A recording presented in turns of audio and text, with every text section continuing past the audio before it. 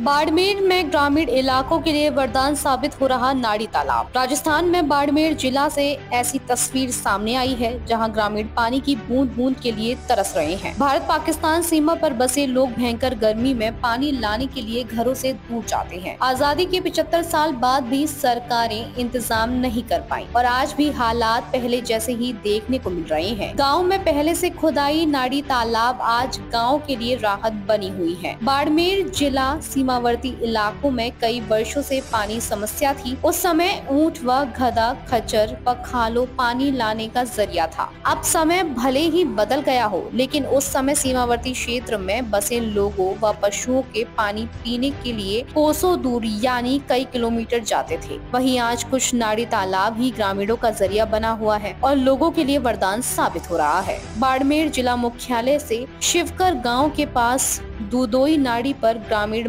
महिलाएँ पानी भर कर ले जाती नज़र आई हैं।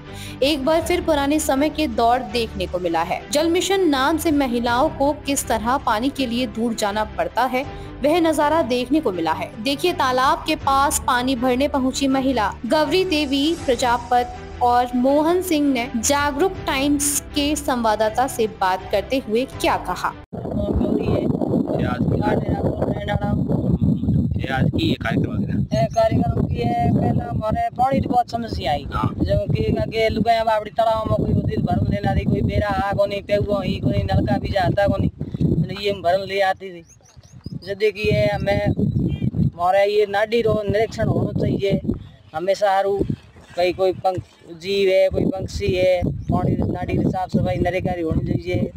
कोई बम्मासारी है तो वो में होनी चाहिए।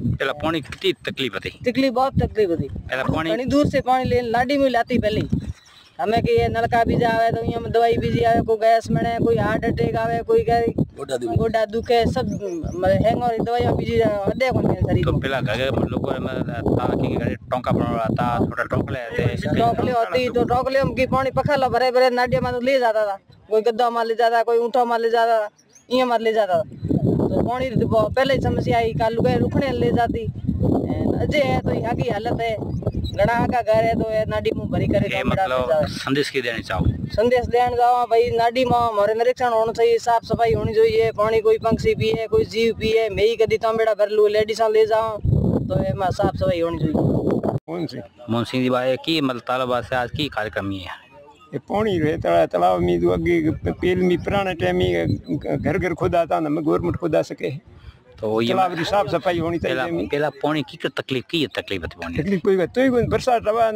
कुआ आता कम मुंगे माथे चला था माथे में मिट्टी रही ठो मतलब भी कोई साधन ही नहीं है तो वो टाइम पानी के मत ले लिया था उखने उकनी लाता ये गद्दा माथे ऊँटा माथे पाडा माथे एक तो तो वो टाइम पानी तकलीफ़ घनी थी तकलीफ़ तीन पंद्रह पंद्रह किलोमीटर ले जाता पानी और मैं नाड़ी वगैरह जो की ए- ए- अगले हाथ रहे कोई तो एक- चारा साल आ रहे तुमने ये माथे कौन चला था तो नाड़ी की कर खोदी की की करके खोदी हमेशा ही घर रात नहीं जो पानी पीता हुआ हमें डेली बारे में